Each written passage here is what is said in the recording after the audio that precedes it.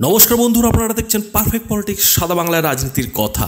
একদিকে যখন একের পর এক ঘটনায় সিবিআই তদন্তের আদেশ দিচ্ছে কলকাতা হাইকোর্ট, ঠিক সেই সময়ে অনুব্রত মণ্ডলের মানে আমাদের কেষ্টতার কিন্তু একটা নতুন খবর উঠে এসেছে। বন্ধুরা, আপনারা নিশ্চয়ই মনে মনে সন্দেহ করছেন যে অনুব্রত মণ্ডলের কি এমন অসুখ হয়েছে যে এসএসকেএমের উডবার্ন ওয়ার্ড তিনি ছাড়তেই চাইছেন না? নিন্দুকেরা স্পষ্টতই বলছেন যে আসলে সিবিআইয়ের ভয়ে অনুব্রত মণ্ডল, এসএসকেএম হাসপাতালের উডবার্ন ওয়ার্ড ছেড়ে বাইরে বেরোচ্ছেন না। প্রায় এক সপ্তাহ হতে চলল, সিবিআইয়ের ভয় কোনোভাবেই কাটিয়ে উঠতে পারছেন না কেষ্টদা কিন্তু হাসপাতাল সূত্রে যেটা খবর পাওয়া গেল যে অনুব্রত মণ্ডলের সত্যি বড় রকমের অসুখ হয়েছে, আর সেই অসুখ হয়েছে তার অন্ডকোষে। একদম ঠিকই শুনেছেন বন্ধুরা। এসএসকেএম হাসপাতাল সূত্রে যেটা খবর যে আসলে অনুব্রত মণ্ডলের অন্ডকোষে সংক্রমণ হয়েছে এবং সেই সঙ্গে তার বুক ও ফুসফুসেরও পরীক্ষা চলছে।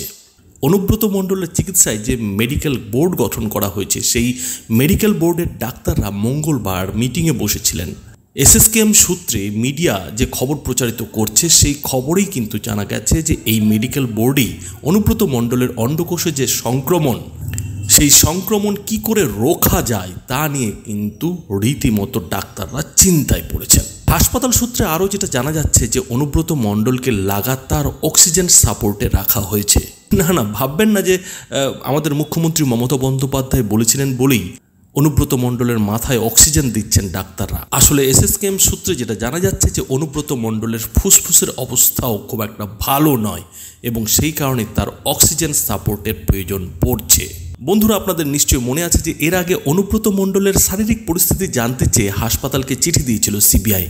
এবং সিবিআইয়ের সেই চিঠির পর এসএসকেএম হাসপাতালের তরফে যে রিপোর্ট পাঠানো হয়েছিল তদন্তকারী দলকে, তাতে কিন্তু এই অন্ডকোষের সমস্যাটা নাকি ছিল না। এটা নাকি পরে ধরা পড়েছে। অনেকেই বলছেন যে আসলে অনুব্রত মণ্ডলকে যেদিন থেকে সিবিআই এইমসের ডাক্তারদের দিয়ে চিকিৎসা করানোর হুঁশিয়ারি দিয়েছে, সেদিন থেকেই অনুব্রত মণ্ডলের রোগের সংখ্যা বেড়ে যাচ্ছে এবং সেই রোগ বাড়তে বাড়তে রীতিমতো একেবারে অন্ডকোষের সংক্রমণ পর্যন্ত গিয়ে ঠেকেছে। এখন কথা হচ্ছে যে অনুব্রত মণ্ডলের এই যে সমস্যা, এই সমস্যার সমাধান এসএসকেএম হাসপাতালে কতটা মিলবে সেটা নিয়ে কিন্তু সন্দেহ থেকেই যাচ্ছে। বিরোধীরা দাবি করছেন যে অনুব্রত মণ্ডলের আসলে এসএসকেএম হাসপাতালের থেকেও বড় কোনো চিকিৎসার প্রয়োজন রয়েছে এবং সেই চিকিৎসা একমাত্র সিবিআইয়ের ডাক্তাররাই করতে পারেন। তবে বিরোধীদের এমন বক্তব্য নয়। বন্ধুরা এই বিষয়ে আপনাদের কি মতামত তা নিশ্চয়ই এই ভিডিওটির নিচে কমেন্ট বক্সে লিখে জানাবেন। ধন্যবাদ।